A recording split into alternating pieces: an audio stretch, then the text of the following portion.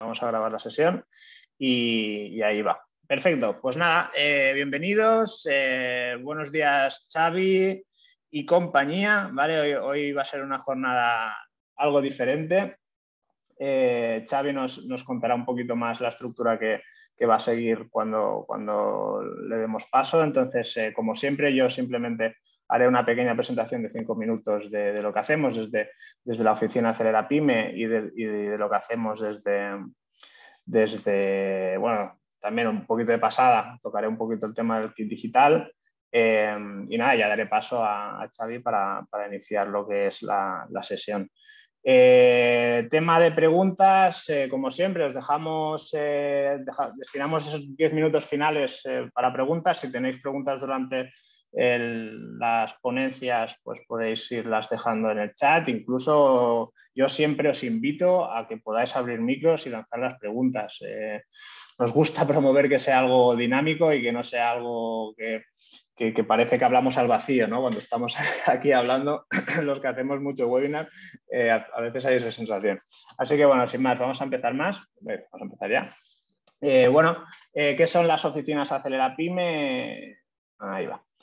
¿Qué son las oficinas Acelera Pyme? Las oficinas Acelera Pyme son, digamos, eh, los espacios que han abierto desde, desde red.es para hacer eh, los espacios físicos para que las pymes se puedan acercar y encontrar todo lo que necesitan para iniciar su, transformación digital. Es un proyecto eh, financiado por los fondos europeos, por lo que todo lo que hacemos desde la oficina es completamente gratuito y nuestro objetivo básicamente es impulsar la transformación digital de la pyme y que pueda encontrar todo lo que necesita eh, para iniciarla. No hacemos servicios consultivos, simplemente eh, lo que promovemos es esa necesidad de abordar la transformación digital y que podáis encontrar todo lo que necesitáis para iniciarla eh, desde, desde, las oficinas. Entonces, ahora mismo esto es un programa estatal, ahora mismo a nivel eh, de España creo que somos unas 86, 90 oficinas, en Cataluña somos tres y están alojadas en diferentes eh, asociaciones sin ánimo de lucro.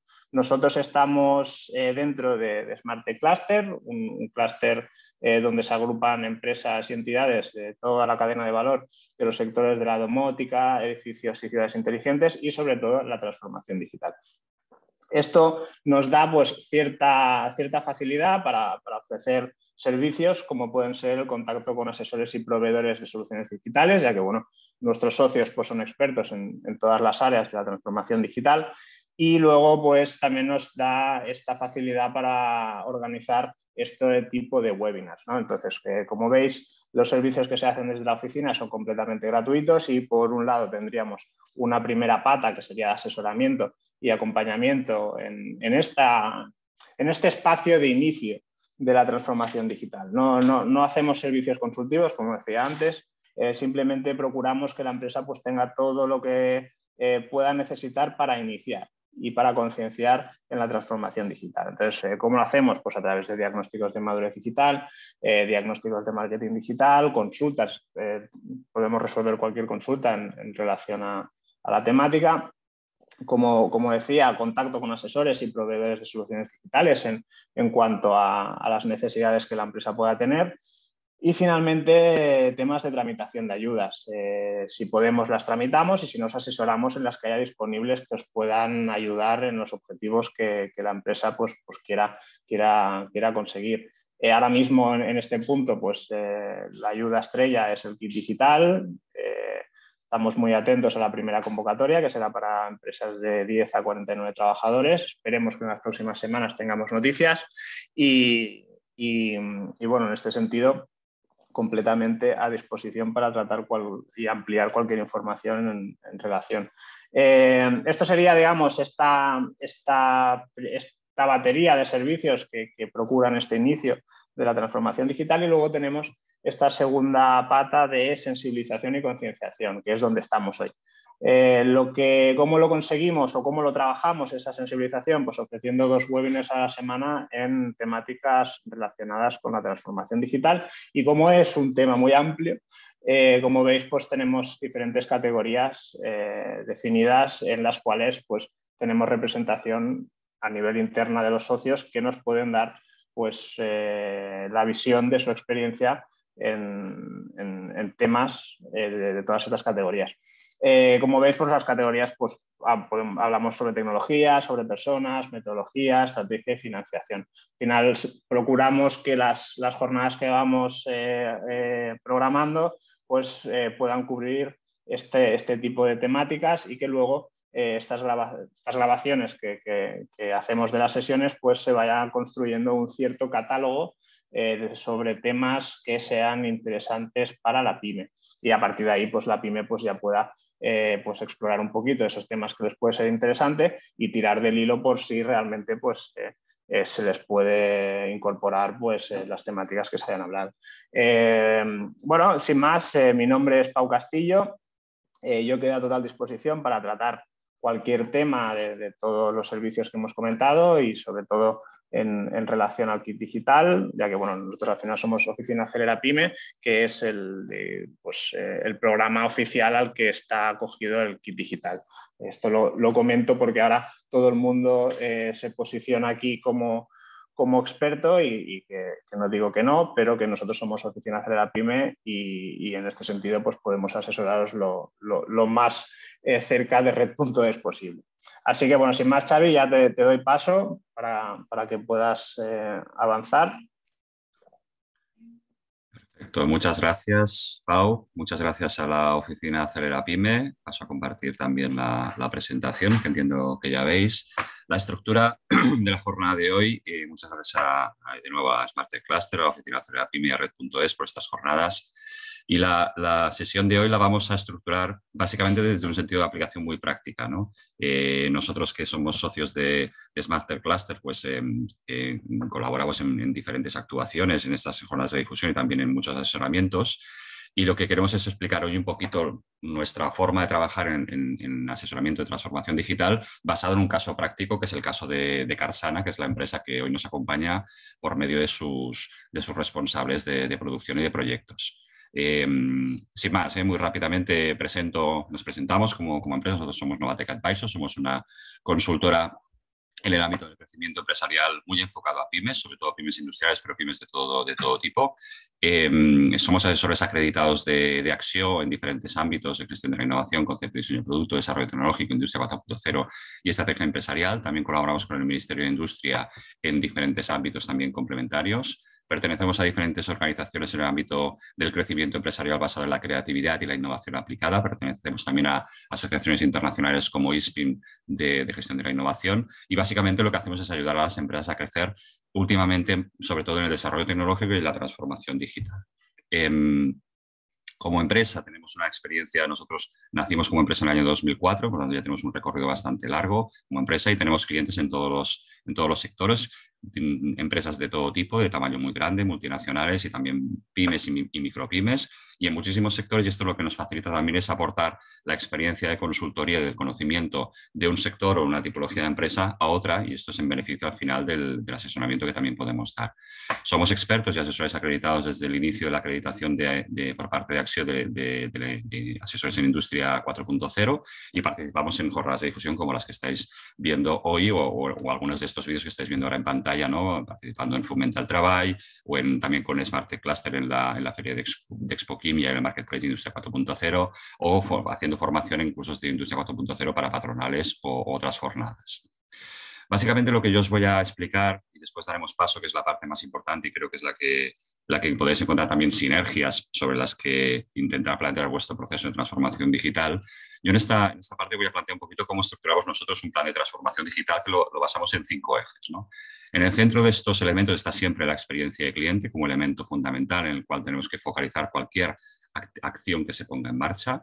Y después hay cuatro elementos también muy fundamentales. La digitalización de los productos y servicios que haga la propia empresa, eh, basándose en productos, servicios inteligentes y sobre todo basados en datos, eh, en datos, en los datos que se recopilan en estos productos inteligentes y digitalizados. Las propias operaciones de la empresa, operaciones administrativas, operaciones comerciales y sobre todo operaciones eh, de fabricación o de la cadena de suministro, logística, em, para conseguir una empresa que sea lo más eficiente posible y sobre todo una fábrica totalmente optimizada y de eso hablará, hablará muy claramente los compañeros de Carsana de cómo lo han conseguido eh, y que la digitalización es un elemento clave para conseguirlo. Fundamentalmente, es fundamental en la, en la, transformación digital, la transformación también de las personas. Hay un proceso de cambio que hay que gestionar y hay que saber cómo gestionarlo para que realmente sea, sea un éxito. Y esto tiene que ver con la calificación y las, y las habilidades digitales del personal que pasa de, ser a lo mejor un, personal más, más offline a, tener que ser un, personal pues, que se transforma y es, y es digital. Y también las transformaciones, el, quinto elemento sería la transformación del propio modelo de negocio, nuevas formas de organizarse y nuevas, eh, nuevas estrategias que aprovechen las oportunidades que, que, brinda la digitalización para competir mejor en, en los mercados. Voy a pasar muy rápidamente por cada uno de estos aspectos. ¿no? En la experiencia de cliente, al final no sería el, típico, ¿no? Lo que queremos es conseguir no solo dar servicios, eh, aportar productos y servicios que satisfagan al cliente, sino que la propia experiencia con el cliente, desde el punto inicial que tiene contacto con nosotros hasta incluso el punto final después de la postventa, el tratamiento de la postventa durante la garantía y después de la garantía del producto que ofrecemos, pues sea lo más satisfactoria posible. ¿no? Y esto se, se, se, fundamenta en diferentes aspectos. De hecho, eh, también Iván nos explicará un poquito cosas que se han implementado en su, en su caso en Carsana en, este ámbito. El acceso eh, bidireccional con los clientes se puede facilitar muchísimo con, con la digitalización de estos procesos, de manera que puedan hacer una visita virtual o que puedan acceder a una oferta online o puedan a sus documentos personalizados de una manera digital y mucho más, eh, mucho más eficiente. También en, la mejora de la involucración y la conexión con el cliente, todo lo que tenga que ver con elementos de marketing digital, de poder, poder compartir experiencias de cliente, casos de éxito, que puedan ver demostraciones de producto, las puedan ver en formato digital, como también lo están haciendo en, en, Carsana, eh, que puedan poder el propio cliente formarse online eh, con respecto a los productos y servicios que estamos utilizando. También la propia personalización. ¿eh? Eh, con la digitalización podemos llegar a conseguir que los productos y servicios estén muy adaptados a cada cliente concreto, partiendo de un producto estándar. La digitalización da esa capa de personalización que permite que la satisfacción del cliente sea mucho mejor. También eh, canales para poder establecer mmm, nuevos, nuevos eh, sistemas de colaboración entre nuestros clientes y nosotros mismos. ¿no? Este, por ejemplo, es un caso de otra, otra empresa cliente nuestra que, por ejemplo, con estos canales digitales ha conseguido una financiación para un proyecto, eh, es una startup, para un proyecto rompedor. ¿eh? Y también, por supuesto, todo lo que tiene que ver con, con los nuevos puntos de contacto en toda, en toda la, el, el, customer journey, en todo el viaje de contacto del cliente con nuestra empresa a través de, los, de la omnicanalidad digital y convivir con este concepto de em, eh, sistemas ciberfísicos también en el contacto con el cliente a nivel comercial, ¿no? el contacto físico y el, contacto virtual online. El segundo de los ámbitos son los productos y servicios que, que ofrecemos a, a las empresas en que obviamente tienen que aportar un valor para que tengan éxito en el mercado y este valor adicional nos pueden ayudar muchísimo todos los eh, elementos digitales que se pueden incorporar. Por ejemplo, incorporando componentes y funcionalidades digitales adicionales, todo lo que tiene que ver con productos y servicios aumentados, en el que, por ejemplo, pues podemos dar, pues aquí veis pues, pues, básicamente una alarma que se conecta a distancia, pero también en productos industriales o de fabricación industrial, como, lo, como los que comenta Carsana, pues el poder optar a eh, funcionalidades extras, a la capacidad de visualizar en in situ delante del, del, producto el manual con una aplicación móvil o con un, o con un, entorno, un entorno de realidad aumentada o virtual.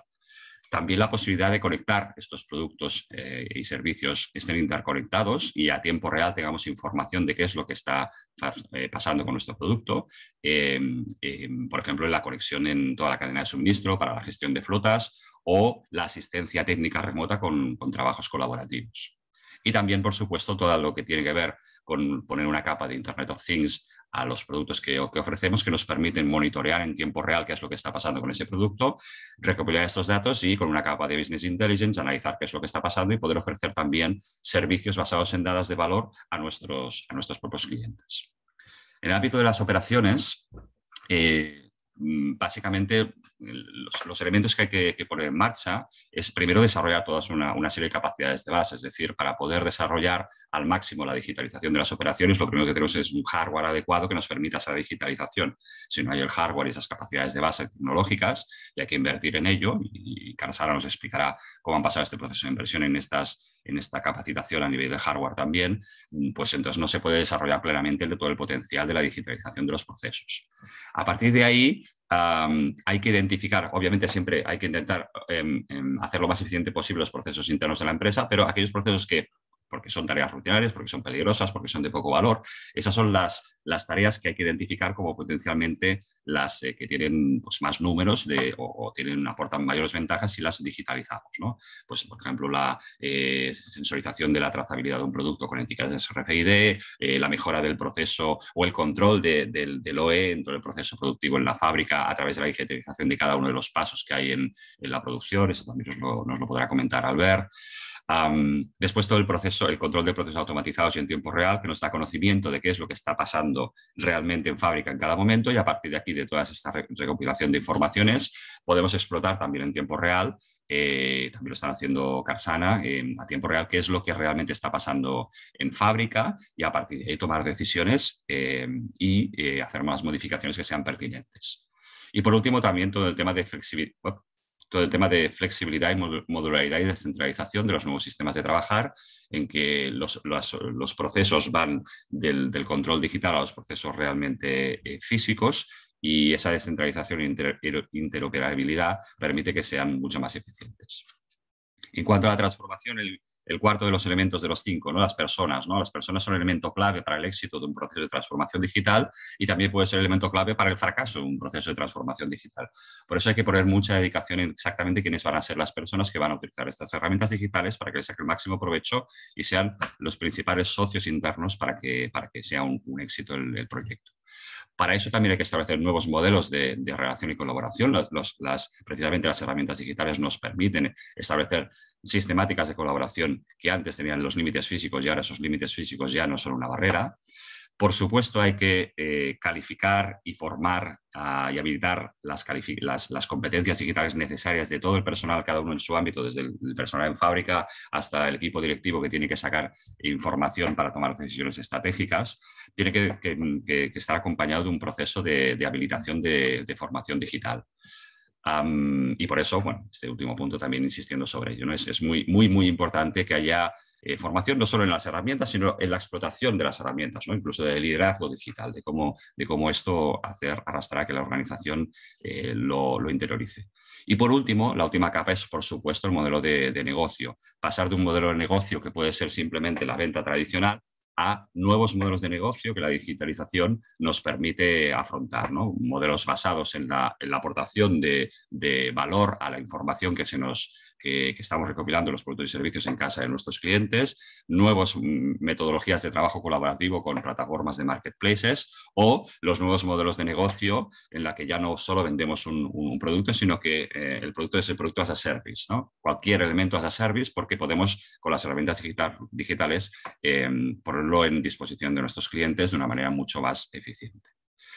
Esto es un poco la estructura de cómo se plantean estos procesos de transformación digital eh, y, básicamente lo que estará nuestra, nuestra breve introducción de cuál es la metodología. Yo creo que lo importante aquí es ahora que veáis el caso de Carsara y que, y que Albert y Iván os puedan expresar, explicar su experiencia de cómo lo han implantado y que os pueda servir como, como inspiración.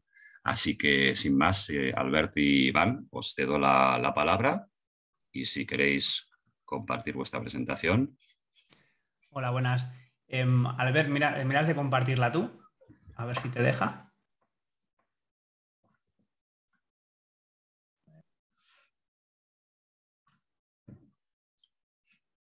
Has de maximizar, Albert.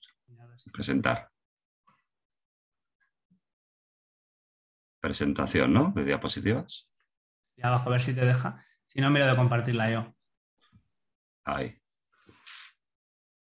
Vale, bueno, pues primero, eh, bueno, presentarme, soy Iván Castelo, soy el, bueno, el asesor en proyectos de Carsana y en este caso, eh, primero haceros nada, eh, una breve introducción de la empresa.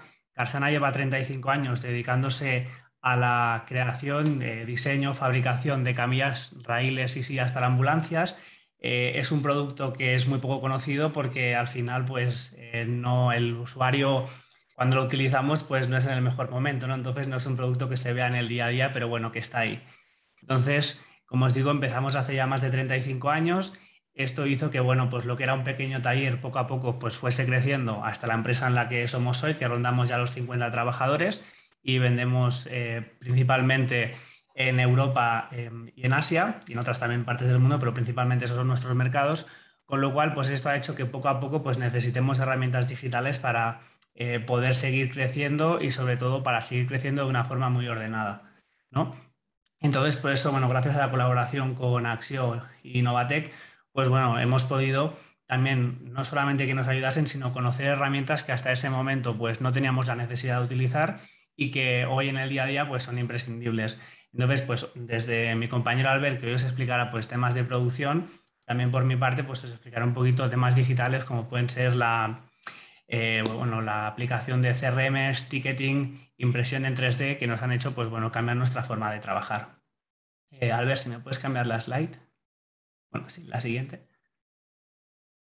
Vale, pues mira, eh, aquí empezaría comentándonos un poco el tema del CRM, que es algo que pues, en muchas empresas grandes es algo que desde hace años ya se utiliza, pero en las empresas más pequeñas es como un gran desconocido. Entonces, pues lo que pasaba es que teníamos al comercial que viajaba, iba a ver a un cliente, iba a ver a otro, y entonces iba a ver a los clientes de una forma eh, de la mejor manera que podía, ¿no? Porque al final les voy a ver a este cliente porque creo que tengo que ir a verlo, em, hago mi pequeño resumen, luego pues llego a la empresa y si tengo tiempo pues explico un poco cómo ha ido y si no pues me voy a ver a otro cliente. Y entonces, claro, esto al final hace que si un día esa persona no está en la empresa o si la empresa necesita tomar em, algún tipo de decisión basada en lo que escucha del mercado, pues se hace como un poco complicado de, ver. Entonces, bueno, pues nos dimos cuenta de que hacía falta algún tipo de herramienta y en este caso optamos, después de, hay muchas en el mercado, optamos por, en concreto, Fresh Sales, eh, que nos va, nos va bastante bien, con la cual, pues, por ejemplo, desde nuestra área de marketing, pues pueden decir, mira, ¿qué tipo de cliente utiliza este producto? Tenemos 50 clientes, ¿vale? Pues hago una campaña de marketing solo enfocada a estos 50 clientes, con lo cual la información le llega realmente a quien la necesita y no spameamos a nuestros clientes que a lo mejor eh, no están interesados en ese producto. Y eso también nos hace que, por ejemplo, pues un comercial, si tiene que visitar a un cliente y hace pues seis meses que no ha ido a este cliente en concreto, pues poder recopilar cómo le fue la visita con el cliente, eh, qué discutieron aquel día, qué oportunidades podían haber abiertas, por qué unas sí que tuvieron éxito y otras no. De esta forma también ayudar a otros compañeros comerciales para que si esta persona no puede ir y va a otra, saber cómo fue aquello entonces, es una herramienta que hoy en día vemos que, vamos, que es muy importante utilizar y sobre todo que nos ayuda a tomar decisiones basadas en datos reales, ¿no? porque al final, eh, como os contaré más adelante con el ticketing, no nos sirve de nada tener un Outlook con cientos de correos que al final toda esa información son datos en bruto que no podemos explotar. Mientras que de esta manera, pues eh, gracias a las nuevas tecnologías, pues podemos tener tags de diferentes aspectos y luego decir, eh, ¿cuántos clientes están interesados en este tipo de producto? Mira, pues tengo 100, ¿vale? Pues entonces haré una campaña de marketing basándome en estos 100 clientes que realmente están muy interesados en este producto. Em, de otra manera, a nivel de costes, también nos pasaba que, bueno, pues que, como os comentaba, pues un comercial decía, vamos a ir a tal país a ver a un cliente o vamos a ir a otro sitio a ver a otro cliente y a lo mejor perdíamos la oportunidad de visitar a varios clientes aprovechando ese viaje porque no teníamos en cuenta que hacía tres meses que teníamos una oportunidad que estaba a lo mejor a 50 kilómetros o 100 kilómetros de ese cliente. Entonces, bueno, pues gracias a este sistema podemos hacer rutas también mucho más eficientes y entonces aprovechar al máximo los viajes de, nuestros comerciales. A su vez, a nivel de, a nivel de problemas, em, imaginemos que vamos a ver a un cliente y antes de ir a ver al cliente, queremos saber cómo está el estado de ese cliente, si ha tenido algún tipo de incidencia previa, por saber si estará pues, en una actitud pues, más receptiva a, recibirnos o no. Entonces, eh, gracias a, en este caso, la interconexión de este sistema de CRM con el sistema que tenemos de postventa, que ahora a continuación os explicaré un poco cómo funciona, pues le permite al comercial ver en tiempo real qué incidencias hemos tenido con ese cliente y entonces, eh, bueno, pues ya prepararse, ¿no? Por si en algún momento el cliente le, habla sobre, sobre alguna de estas incidencias. Por lo tanto, creemos que el sistema CRM, sobre todo también para la parte de marketing, hoy en día es algo ya indispensable tener en una empresa. Y tenéis herramientas totalmente gratuitas y luego pues herramientas que a mayor complejidad o mayor tipo de datos necesitéis, pues quizás pues ya son un poco más de pago, pero también os digo que son bastante asequibles, no son una gran inversión. Eh, Albert, ¿me puedes cambiar la slide? Gracias. Y viniendo a colación con el tema anterior, Em, por ejemplo, eh, al tratar de hablar con los clientes, entendemos que un cliente, si recibe, por ejemplo, eh, un mail automático, hay gente que, bueno, entraremos en la discusión de si es correcto o no que una máquina le conteste al cliente. Entonces, al menos desde mi propia experiencia y mi opinión, creo que no es lo mismo cuando un comercial va a visitar a un cliente o habla con un cliente, que el cliente siempre quiere que el comercial esté por él, le dé un poco de mimo, mientras que cuando un cliente tiene un problema, lo que él busca es que se le solucione el problema. Entonces, en este caso, em, lo que nos pasaba anteriormente es que teníamos cientos de correos que era muy complicado de tener un sistema de seguimiento. Y entonces, lo típico que pasa, llegas a la oficina a primera hora de la mañana, abres tu Outlook y te encuentras pues que te acaban de entrar 10 correos. Contestas esos 10 correos porque te acaban de entrar y no te das cuenta que debajo tienes otros 10. Entonces, o eres una persona muy metódica y organizada, o al final lo que pasa es que los tiempos de respuesta a los clientes no son estándar. Eh, lo mismo a uno le contestas en 10 minutos, a otro en 20 horas, y esto a la larga pues genera, genera incidencias, o a lo mejor este día has tenido muchas reuniones, te vas a casa, abres el portátil por la tarde y te das cuenta pues, de que había un, cliente con un problema muy serio al que no has podido ver porque se te ha quedado abajo. Entonces, eh, vimos la posibilidad de, introducir un sistema eh, de ticketing que al final es un sistema que lo que hace es automatiza el correo y genera una cola. Con lo cual, una vez tú lo configuras, pues te dice, mira, tienes estos 10 correos que te han entrado hoy, pero no, estos van abajo, porque primero tienes este que va anterior. Ahora, vamos a configurar varias palabras que sean clave. Pues si una de esas palabras llega en uno de los correos que te llega, automáticamente a lo mejor sube arriba porque es una urgencia.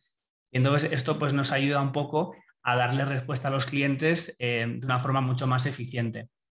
Eh, por ello, eso también nos ayuda a sacar métricas, porque al final, como os comentaba antes, Outlook es un sistema que tiene pues, muchos datos, pero son brutos, no puedes explotarlos, mientras que gracias a la tecnología que tenemos ahora, pues podemos saber una media de cuánto tardamos en contestar a los clientes, eh, si nos hemos olvidado de contestar a algún cliente, rápidamente, si pasan 48 horas, 72 horas, te llega un correo al responsable, en este caso de ese ticket o del departamento, donde le dice, escucha, eh, a este cliente no se le ha contestado en 72 horas. Entonces tú ya pues, puedes entrar y ver por qué no se le ha contestado.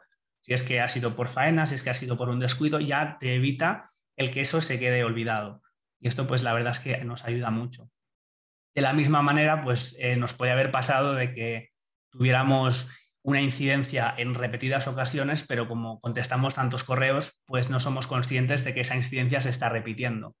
Gracias a este sistema, pues podemos ver las métricas de forma rápida, donde nos dice, mira, eh, este mes habéis tenido 10 incidencias de este tipo. Y entonces esto pues lo podemos extrapolar ver si realmente hay un problema o no y pasarlo al departamento, pues ya sea de calidad, de I+D, de compras, al departamento pertinente para que intente pues encontrar eh, la solución y hacer una acción correctiva. Bueno, sí, como se haya comentado también el tema de armonizar los tiempos de respuesta, que al final es intentar que todo el mundo eh, reciba una respuesta en unos tiempos más o menos estándar. En nuestro caso, pues bueno, hemos intentado que sea pues entre 72 horas, pero que bueno, que cada empresa pues la puede adecuar a, su, a sus necesidades. Em, a ver, ¿me puedes pasar? Bueno, y por mi parte, lo último que os quería comentar es el tema de la fabricación aditiva, más conocido ahora como la impresión 3D. Eh, es un tema muy importante y muy interesante, ya que em, seguramente nos estáis viendo desde empresas más grandes o más pequeñas, eh, sí que es verdad que a lo mejor para una gran empresa, pues invertir en una impresora 3D pues puede ser algo que esté dentro del presupuesto del departamento y es algo normal. Y, bueno, pues no lo vean como un gran, una gran inversión, pero una pyme tener que gastarse, pues ya sean 1.000, 20.000, 100.000 o 400.000 euros en un tipo de máquina, porque al final la máquina se adapta un poco a las necesidades de la empresa y de ahí el coste, pues puede ser una gran inversión. Entonces a nosotros eh, este paso pues lo, lo, comentamos hace un tiempo con Xavi y demás y era algo pues que nos parecía pues al principio, sobre todo de cara a nuestra dirección, como presentar una inversión tan grande en este tipo de máquinas. Y después de hacer pues un estudio, el estudio nos decía que en menos de dos años podíamos amortizar la máquina. Una cosa es lo que dice el estudio y otra la que, lo que marca el número, ¿no? Que al final dices, ostras, ¿realmente vamos a amortizar esto que vale tanto en tan poco tiempo? Bueno, pues al final nos decidimos a, nos decidimos a coger una impresora 3D. El, por qué? Pues lo primero de todo porque cuando tú haces prototipos en casa, si necesitas ese prototipo, lo tienes que pedir a, un tercero. Ese tercero te puede tardar dos, tres semanas. Quizás en la forma más rápida tienes un super proveedor que te lo trae en cuatro días, eh, pero te ha tenido que hacer una pieza mecanizada o un corte láser, lo que sea, eh, para ti, una. Eso te supone un coste muy alto por pieza. Claro, en el momento en el que tú tienes una máquina de impresión 3D, aunque el coste inicial ha sido alto, el imprimir una pieza, pues el coste es muy bajo. Hablamos de entre 5 y 10 veces más bajo que el coste de pedirlo a un proveedor. Claro, no solamente es el coste, es que si el ingeniero ha diseñado la pieza hoy a las 10 de la mañana, le da el botón y si la pieza es muy grande, quizás pasado mañana la tiene. Si la pieza es, es relativamente pequeña, lo mismo esta tarde la tiene o si no mañana. Si mañana la pieza la ven por la mañana, la prueban, ven que la, pieza no está correcta, simplemente el ingeniero hace un rediseño de la pieza ese mismo día, le vuelve a dar al botón imprimir y al día siguiente tiene la pieza definitiva. Si esto lo hacemos con un proveedor, la pieza que llegó dos o tres semanas después ha llegado mal, hay que rediseñarla, hay que volver a pedirle al proveedor otras dos o tres semanas otra pieza y veremos si está correcta. Entonces, claro, aquí ya vemos que no solamente es el coste en dinero, sino es el coste en tiempo con lo cual si estamos fabricando un nuevo prototipo, un nuevo producto, al final esto pues hace que nuestro deadline con el cliente pues se alargue muchísimo más. Entonces, como os digo, en nuestro caso pues cogimos la, impresora 3D hace pues prácticamente dos años. Eh, en lugar de dos años para amortizarla, se amortizó en seis meses. Eh, ¿Por qué? Pues porque cuando tienes eso en casa, ya no dependes del proveedor y ya no te duele tener que estar imprimiendo tantas piezas porque no tienes que pedirlas fuera. Y entonces al final empiezas a hacer muchos más prototipos. Con lo cual, ahora ya tenemos dos, no una. Y seguramente en un par de años tengamos un par más. Por eso os digo que el, tema este de la, de la, impresión 3D es como te va enganchando y al final pues ves que las posibilidades son prácticamente ilimitadas, ¿no? Las que las que la empresa un poco se, ponga en mente, porque tienes muchísimas posibilidades. Y con esto, bueno, pues dejo ya paso a mi compañero Albert.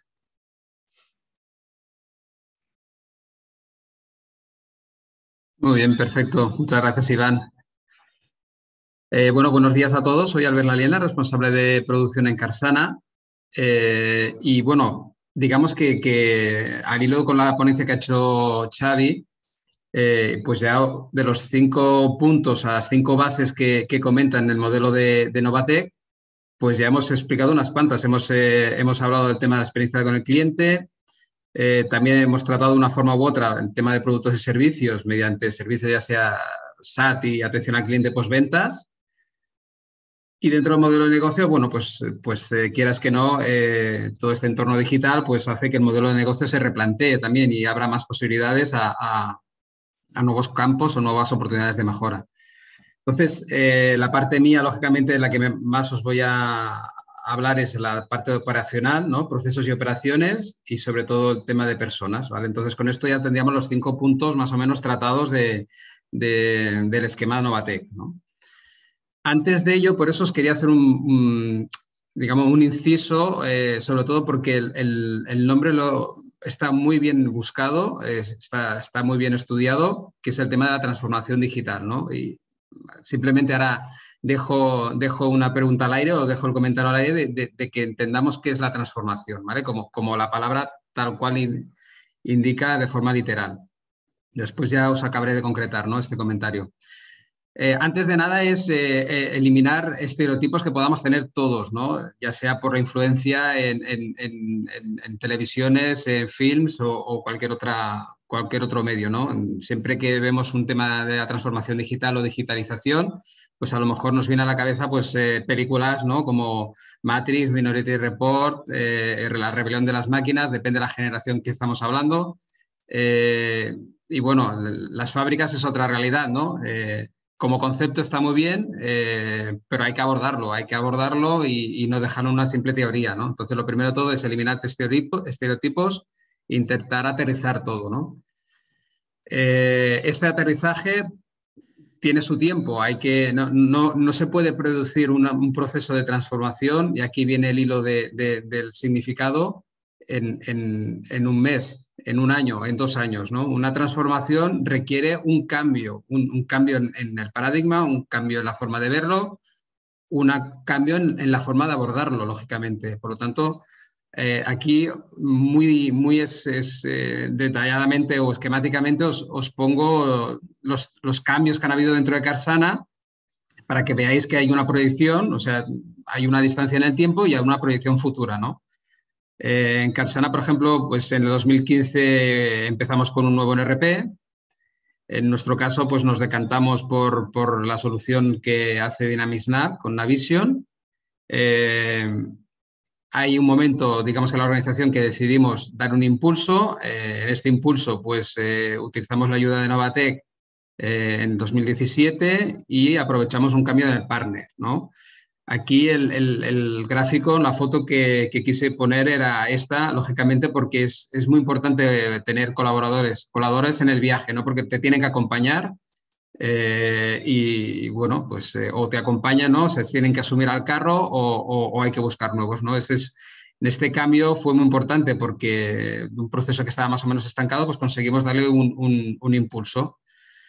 En 2019, pues eh, con la ayuda de Axio, pues pues nos ayudaron al tema de, financiación y, nuevos retos.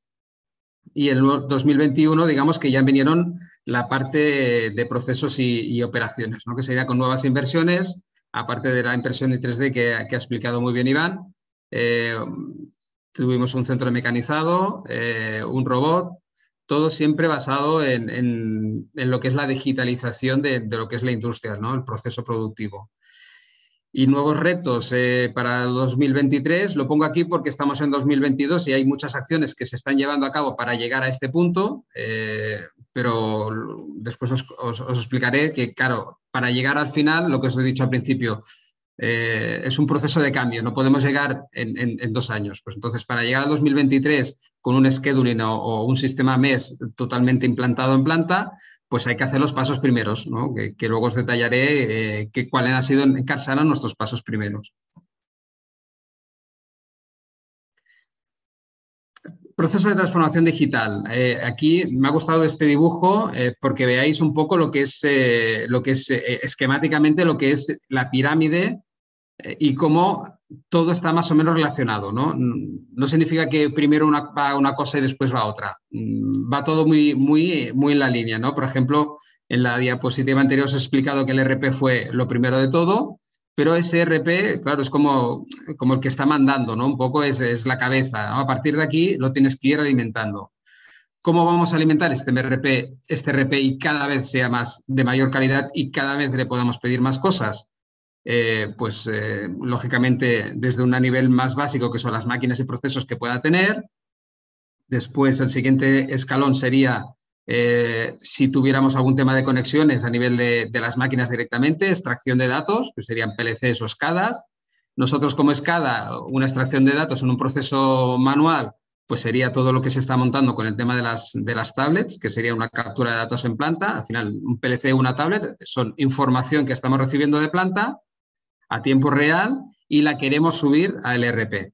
Entonces, todo, toda esa infraestructura que, también comentó Xavi al principio, de hardware que se ha tenido que montar, pues tiene que soportarlo. ¿no? Estamos hablando, por un lado, de máquinas muy, muy, muy eficientes que requieren una serie de sistemas, eh, aplicaciones eh, satélites, que es en todo el tema de las tablets y, demás conexiones que puedan haber.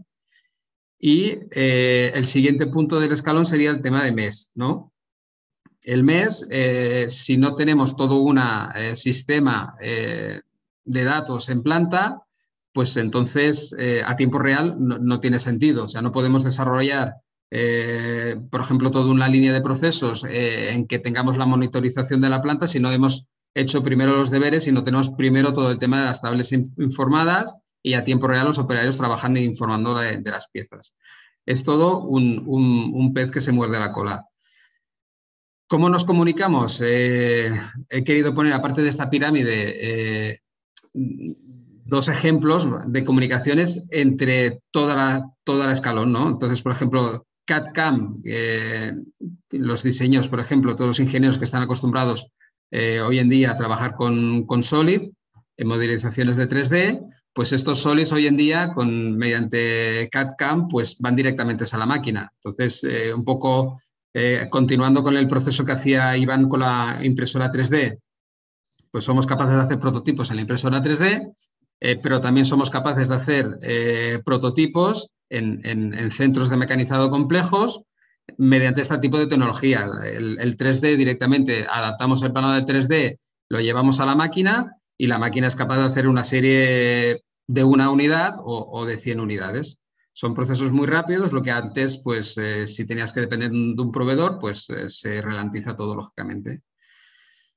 De forma paralela, por eso sería la, tecnología CAD-CAM en procesos de, mecanizado de pieza y por otra parte tendríamos todo el tema de Robot Studio para procesos de, robotización. El proceso de, robotización es mucho mayor complejo eh, porque no solo, no solo tienes la pieza en 3D, sino tienes que la pieza en 3D y luego tienes que hacer un programa eh, en el robot. Entonces, eh, hay, herramientas que te facilitan todo este proceso. Eh, una de ellas es el Robot Studio, que te puede ayudar a, partir de un modelo en 3D, hacerte las bases para tener ya en tu célula, en tu célula que tienes diseñada, pues cómo puedes afrontar esa pieza en el robot y no solo cómo puedes afrontar esa pieza en el robot y cómo la puedes programar, sino cómo tienes que hacer el utillaje eh, para poder eh, soldar la pieza en el robot. Entonces, gracias a esto, pues te, permite eh, ver la posición de la pieza en el útil y ver realmente el radio de giro y, entrada que tiene el robot en la pieza.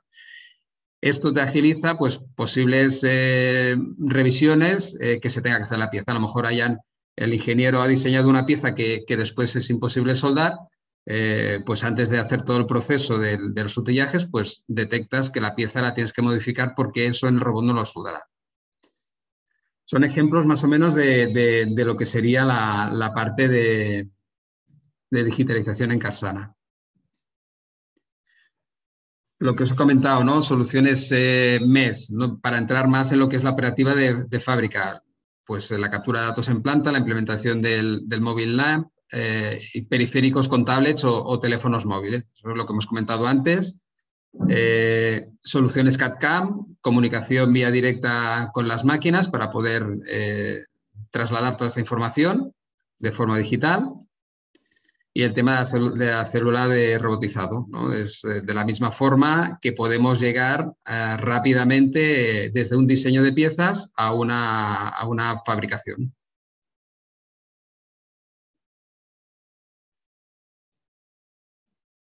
Perdona, me he atrasado. me he adelantado una diapositiva.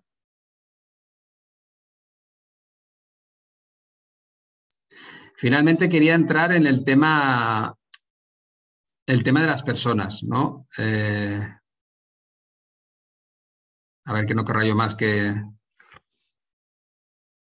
Uno de los puntos que me quedaba por, tratar eh, sería procesos, eh, operaciones y personas. Entonces, eh, lo, he hecho puesto en la, lo he puesto en la última, en la última presentación. Eh, máquinas y procesos ya lo hemos comentado. y ahora nos quedan las, las personas. aquí sí que le quiero dedicar un pequeño más de, de atención, porque lógicamente a lo mejor nos puede, no, nos puede entrar a engañar o engaños en que, en que la solución digital lo soluciona todo, ¿no? Es, es la que nos eh, salvará, ¿no? Como aquel que dice. Pero no debemos olvidar de que, al final eh, las máquinas las comandan las personas. Entonces, no se puede prever un proceso de transformación en el que no hay una transformación también de las personas. Lógicamente hay nuevas competencias, nuevas competencias que las personas tienen que adquirir, eh, nuevos perfiles profesionales. No es lo mismo un soldador de soldadura manual que un operador de robot son perfiles profesionales diferentes y experiencias diferentes. Eh, nosotros hemos sufrido mucho en ese sentido porque, porque realmente hay que, hay que, desde el primer momento, hay que hacer un plan paralelo en, lo, que es, eh, lo que es la transformación digital, digital, inversiones y maquinaria y paralelamente lo que sería un plan de formación.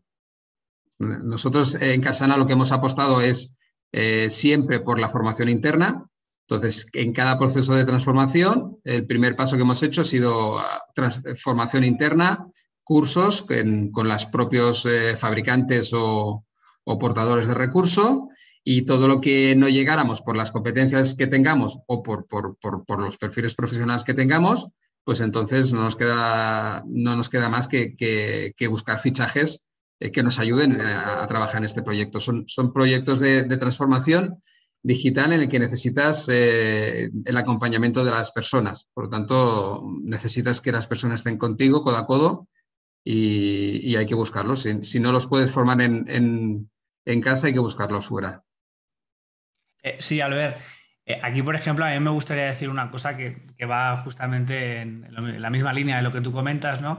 Y es que al final también es muy importante entender que por mucho que nos gastemos grandes inversiones en sistemas, ya sean en RPs, ticketing, robots y demás, al final todos los sistemas se reducen a simples calculadoras. Porque al final, por muy complejo que sea ese sistema, es una calculadora y si tú le pones 2 más 2 te va a dar siempre 4. Entonces, si vemos que el resultado no es 4, es que la imputación de datos no es correcta. Entonces, eh, esto puede pasar en cualquier sistema, ¿no? De que al final el proceso es muy importante y si la parte humana, que es, vital en este sentido, eh, no imputa correctamente esos datos, eh, la máquina no va a darte el resultado que esperes. Entonces, pues bueno, vendrá la frustración, eh, el sistema no va, esto no funciona y demás. Y es como dice Albert, ¿no? al final hay que trabajar mucho en la parte de, formar, de competencias, de, ver que el proceso se sigue correctamente para que al final, si realmente la máquina no da cuatro, podamos saber a ciencia cierta de que humanamente está correcto, que a lo mejor sí que hay algo de software que hay que modificar, pero suele ser las veces que menos, ¿no? Y, también otra, otra cosa que viene también de lo mismo es que mm, no intentemos eh, siempre que el sistema se adapte a nosotros, sino intentar nosotros también un poco adaptarnos al sistema, porque al final si hay un ERP que funciona en mil empresas, eh, si nuestra empresa no funciona bien, ostras, qué raro, ¿no? Si hay dos mil empresas funcionando perfectamente, ¿qué, ¿qué, diferencia tenemos nosotros con esas otras empresas? Que seguramente habrán empresas muy similares o con procesos productivos muy similares a los nuestros en esas empresas. Correcto. Muy bien, pues eh, si en principio, gracias a, todos, eh, ahora supongo que, Pau ¿no? hará ronda de, consultas, que también es un poco el objetivo y lo interesante de, la webinar. Sí, eh, muchas gracias Albert, Iván y Xavi, la verdad que, que habéis dado una visión muy completa eh, desde, bueno, nosotros desde la oficina vemos todo este proceso, ¿no? Las empresas que empiezan, sobre todo esa parte, ¿no? Que, empiezan tapando agujeros con, herramientas eh, digitales, eh, pero lo que habéis, yo creo que, ha quedado muy claro es este proceso, que al final no es solo de poner un CRM o un RP, sino que al final estamos capacitando a la, organización con nuevas habilidades, por decirlo así, y eso nos va a llevar a transformar eh, el, servicio o producto que tengamos y eso va a afectar en diferentes áreas como pueden ser las personas, como pueden ser los procesos, incluso el modelo de negocio. Entonces, eh, creo que eh, era el objetivo, ¿no? que cuando hablamos con Xavi era un poquito el objetivo de esta sesión, ¿no? de poder ilustrar que, cuando hablamos de transformación digital, y al ver, me parece muy bien la, la, cuestión que has lanzado, ¿no? ¿Qué es la transformación digital? Eh, yo creo que, habéis conseguido muy bien eh, ilustrar este proceso y que la transformación digital no es solo eh, introducir herramientas, sino que es un proceso de que la tecnología es el medio, pero que las personas son la clave. aquí ya os digo, abrimos debate y abrimos para que, para que podáis preguntar, poner vuestro caso encima de la mesa y, comentarlo o, alguna consulta que os haya surgido, por favor, os animamos.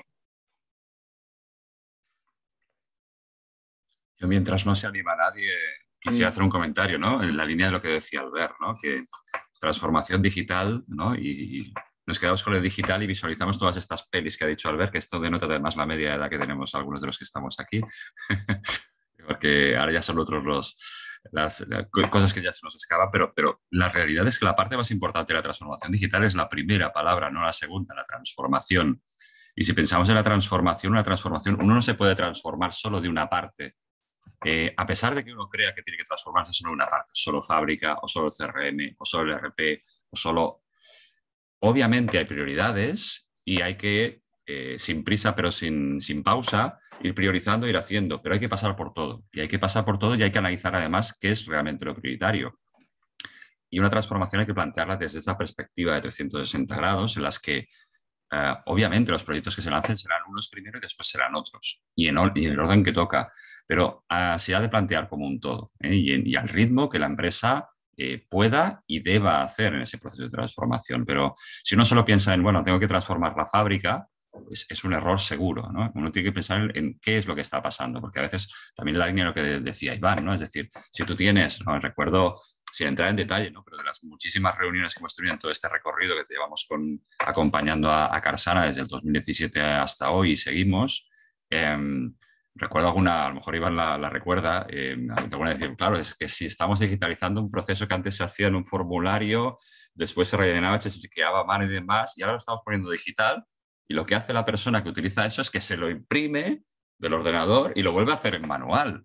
Claro, entonces, ¿qué estamos haciendo? No estamos haciendo nada. La transformación tiene que venir precisamente en que la persona sepa exactamente qué es lo que tiene que hacer, cómo lo tiene que hacer y que vea que este cambio ah, es más que factible por su, independientemente de sus competencias de, partida, y sobre todo que interiorice y que visualice que ese cambio le va a representar una mejora en su día a día del trabajo. Y esto es el proceso que realmente cuesta y es el proceso que es muy importante en ir acompañando no sé si queréis ahí enlazar, Iván, o esto lo recordaréis. Aquí, aquí, Xavi, lo que te diría es que, bueno, esto, es completamente cierto lo que acabas de comentar. Y también que el tema del COVID, en nuestro caso, en este apartado nos ha podido ayudar un poco porque el hecho de haber tenido que teletrabajar parte de las oficinas, pues quizás cosas que antes eran sí o sí eh, con papeles, ahora pues se empiezan ya, eh, poco a poco han ido dejando de hacerse en papeles. Aún también te digo que tenemos un largo camino por delante porque el tema de acabar con los papeles es muy complicado, es, durillo. Eh, sí que ahora pues en la parte que le toca más al verde, las tablets en producción, eh, sí que bueno, pues ahí se ha ganado algo y en la parte de la postventa pues también. También, o sea, aún por desgracia, los transportes hoy en día exceptuando empresas que estén ya muy digitalizadas, siguen teniendo que necesitar el sello del transporte para saber el, como que la mercancía ha salido y demás, pero sí que hemos avanzado bastante en este tema y seguimos, seguimos luchando porque cada día pues pequeñas cositas pues se vayan haciendo ya sin, eh, sin papeles y sobre todo ya no es tanto por el papel, sino porque si el proceso está digitalizado muchas veces delegas ese proceso y ya no tienes que tener a alguien supervisando el proceso porque el propio operario ya tiene su listado, tiene el pedido que tiene que preparar, tiene el botoncito para registrarlo y al final es como una tarea que antes la tenían que hacer o compartir entre dos personas y ahora una de esas personas se puede dedicar a aportar realmente valor y no a estar haciendo esa tarea que no aportaba ningún tipo de valor a la organización. Ya, ya, por continuar, ya que habéis abierto el hilo este eh, del tema del, papel, eh, también se me ha olvidado comentar un apunte que es, importante, es eh, el tema de la digitalización y sobre todo en procesos productivos, digamos que, digitales o más autónomos, que podían ser todo el tema, por ejemplo, el centro mecanizado y el tema de robot, lo, que sí que, lo que sí que nos ha obligado es a ser más excelentes. claro, son procesos que van a una una precisión muy alta y en la que antes, pues una, soldadura, por ejemplo, manual, que tuviera una pequeña diferencia, pues el soldador manual lo puede, lo puede, lo puede solventar, pero todos los procesos de robot de soldadura, lógicamente, no se puede solventar. Entonces, eso te obliga que eh, aguas abajo tú seas mucho, debas ser mucho más eh, eficiente, efectivo y, excelente. O sea, que si tú me haces una pieza, tiene que ir con las tolerancias que admite el robot. Si tú este proceso lo tienes que subcontratar, eh, pues tienes que exigirle al proveedor el mismo grado de, tolerancia y eh, ¿qué te obliga? Pues te obliga muchas de las veces, pues seguramente a modificar tus actuales eh, procesos o instrucciones de, fabricación para poder cumplir los nuevos, los nuevos retos. Entonces, por un lado entras en una digitalización y por otro lado entras en la paradoja de que está generando mucha más documentación. eh, pero es necesaria. O sea, que, si el proceso no es lo suficientemente robusto aguas abajo, eh, aguas arriba, que es cuando lo vas a poner en el, sistema productivo, vas a tener fallos. Entonces, ¿cómo consigues que un proceso sea eh, robusto? Pues pautas de control, procedimientos claros, identificación de las piezas, todo eso son una serie de, inputs que te obligan a, tener, de momento, soporte papel.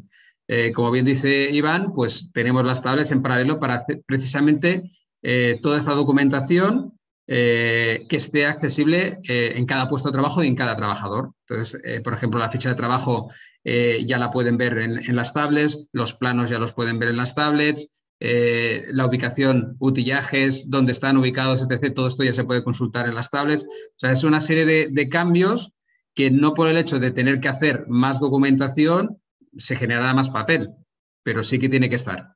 Es un poco eh, para tenerlo en cuenta de que, de que, es necesario, pero lo que se puede hacer es digitalizar. Muy bien.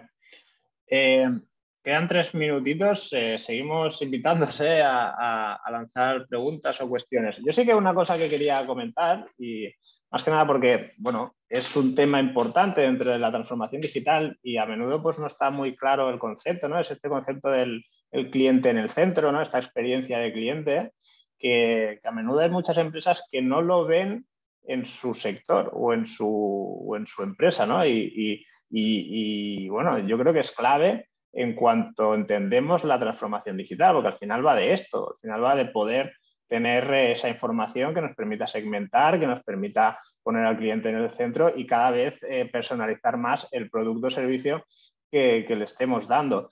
yo quería preguntaros, eh, ¿cómo ha sido esto en vuestro caso? ¿Cómo habéis puesto al cliente en el centro y cómo habéis trabajado esa experiencia de cliente? Bueno, pues mira, esto te contesto yo, que creo que me toca un poquito más.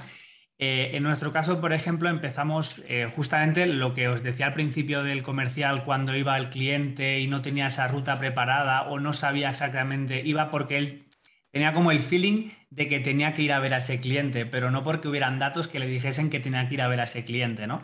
Entonces, eh, lo que empezamos a hacer es que, por ejemplo, cuando ahora nosotros queremos cambiar un producto, o queremos actualizarlo, sacar un nuevo producto al mercado, antes lo hacíamos porque desde nuestro departamento de I+D, donde siempre ha sido un poco la parte más inventiva de la empresa, pues siempre ellos mismos se han encargado de crear las necesidades, ¿no? O de entender lo que el mercado necesitaba sin a lo mejor tener al mercado o al cliente tan presente.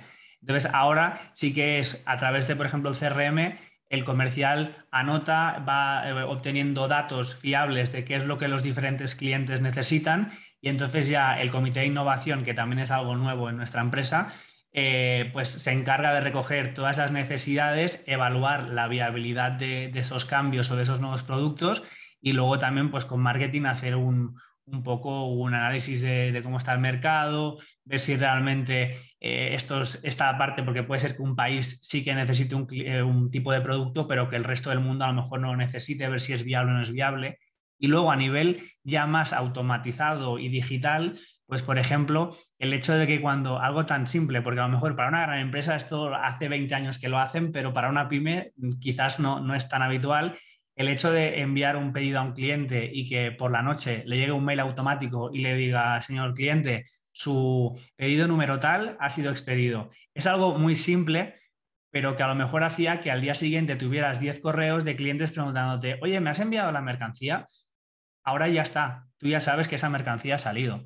Entonces le hace al cliente estar pues eh, mucho más al día y luego además, a través del sistema este del ticketing que comentábamos al principio, eh, te crean, bueno, eh, una vez que lo empiezas a utilizar, eh, aparecen nuevas ideas o cosas que antes no planteabas, como por ejemplo tener una base documental de datos donde tus trabajadores puedan rápidamente acceder a, un tipo de, por ejemplo, em, preguntas frecuentes, tipos de incidencia frecuentes, cómo se soluciona esta avería que al final antes pues a lo mejor tenías que parar porque la persona que estaba en ese puesto, aunque tenga un perfil un poco técnico o tuviera formación, em, no puede saberlo todo tenía que abrir una incidencia a, la oficina técnica y entonces hacía pues que la oficina técnica a lo mejor dejase de trabajar X horas para resolver esa incidencia, mientras que ahora Esto también te digo que no tenemos todavía acabado, pero estamos trabajando en ello porque a nivel documental es mucho. Eh, pues que poco a poco pues la persona llegue un momento en el que sea totalmente independiente y pues pueda darle una respuesta al cliente muy rápida.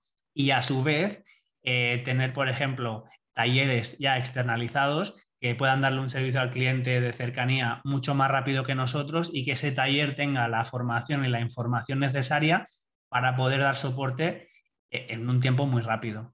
Entonces, todo esto nos ha llevado a esta digitalización. Por eso estamos bastante contentos con el tema, aunque sí que es, como te comento, un trabajo que es continuo.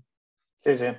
Muchas gracias, Iván. Eh, Jordi Rubman nos lanza una, pregunta. Dice, ¿cómo habéis evaluado, valorado el éxito de la transformación digital en la empresa? ¿Qué indicadores habéis usado? Eh, crecimiento, facturación, más clientes, calidad de los, de los productos, más eficiencia, ahorro de costes, etcétera. ¿Y en qué nivel habéis superado vuestros objetivos? Vale, bueno, mira, yo si quieres te puedo contestar algunas de las preguntas, no todas, pero algunas de los indicadores que comentaba. Eh, por ejemplo, en la parte de inversiones, em, en el tema del, de, por ejemplo, el centro de mecanizado o la impresora 3D, el robot de soldadura no lo pongo en este listado porque la complejidad que tiene de, de explotación al 100%, pues todavía no la tenemos lista. Hace prácticamente un año que lo tenemos y seguimos mejorando, pero no es una máquina que está al 100% todavía. Pero sí que la impresora 3D o el centro de mecanizado, primero hicimos un estudio de costes antes de, comprarlo, em, sobre todo un estudio de piezas, de qué piezas son las que, las que habitualmente eh, más fabricamos fuera que podríamos fabricar con ese tipo de maquinaria o cuántos prototipos al año más o menos estábamos comprando fuera, porque esto sí que ya anteriormente lo teníamos como digitalizado de un, pues, número de, un número concreto de referencias que eran prototipos, cuánto nos costaban al año, y lo, balanceamos con el coste de la inversión más el coste de los consumibles, porque al final eh, una impresora 3D tiene un gasto que es el consumible que le pones. Sigue siendo muy inferior al de, como os comentaba antes, de 5 a 10 veces el precio de un proveedor pero eh, sigue siendo un coste. Entonces, el indicador que utilizamos en el caso, por ejemplo, de la impresora 3D fue ese, ¿no? Al final de año, cuánto habíamos ahorrado eh, comparándolo a nivel de número total de piezas con el número de piezas que fabricamos como prototipos. Entonces, a, relación 1-1, pues claro, es lo que os comento, ¿no? Amortizamos la inversión en seis meses. Obviamente gastamos un poquito más en prototipos, pero menos si hubiera sido un proveedor. Y luego en el tema del centro de mecanizado, pues lo mismo. En este caso, nuestro centro de mecanizado es de perfilería.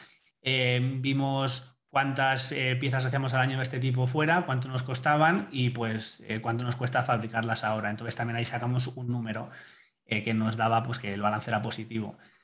en el caso de, por ejemplo, de la, de la satisfacción al cliente, a nivel de ticketing, hemos empezado, aquí no tenemos un dato real por el hecho de que eh, es muy complicado que los clientes cuando están contentos, porque en la parte de la postventa, cuando te llama un cliente, no suele ser porque está contento, suele ser porque ha tenido un problema o quiere un recambio. Entonces es muy complicado analizar la satisfacción del cliente en ese aspecto. ¿no? Entonces, en global sí que, sí que notamos a nivel de comerciales pues que em, el número total de llamadas incidencias que les llaman los clientes en estos últimos dos, tres meses pues ha bajado porque hemos cambiado en nuestra plataforma de, de ticketing unas cuantas cosas em, y, sí que digamos que tangiblemente lo podemos eh, notar, aunque es un poco, eh, este, en, este, punto en concreto, difícil de evaluar. No sé sí, yo solo, solo, añadir que a, nivel operacional eh, tenemos básicamente, hay, hay bastantes indicadores, pero los que más, digamos que más incidencia tienen directa eh, sobre este proceso de transformación son dos. ¿no? Por una parte, tenemos un, indicador que sería sobre eh, un porcentaje de facturación, sobre la facturación, eh, a precio de tarifa dividido entre la mano de obra directa.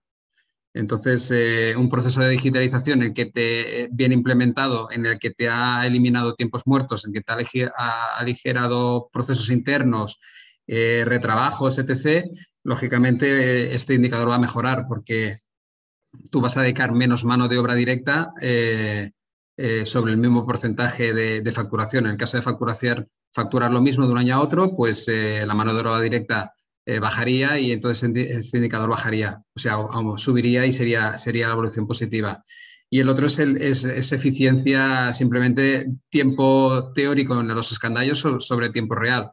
Mm, un robot de soldadura pues tarda mucho menos que un, que un proceso manual. Entonces, estos indicadores se van llevando en paralelo y, entonces son los que te ayudan a, valorar y ver tu proceso si está evolucionando de forma correcta.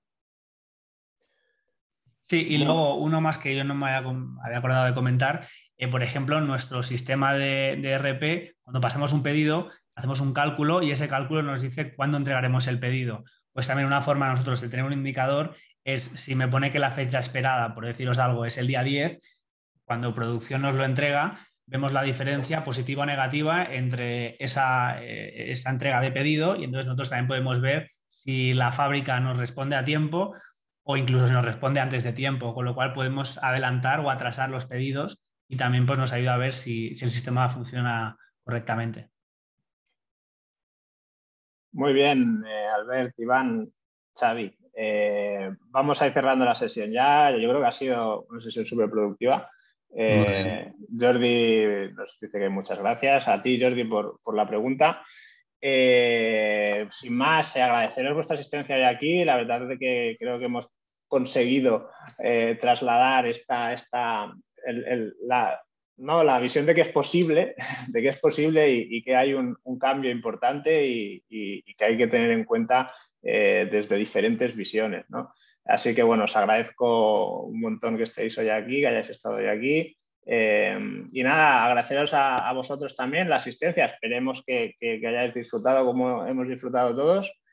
Eh, informaros, la semana que viene, el, martes, hablaremos de los principales bloqueos al aplicar la transformación digital eh, a las 10. Eh, os compartiremos toda esta información por, por correo, os pasaremos las, presentaciones para que las podáis ver y el, vídeo de la sesión por si lo queréis recuperar.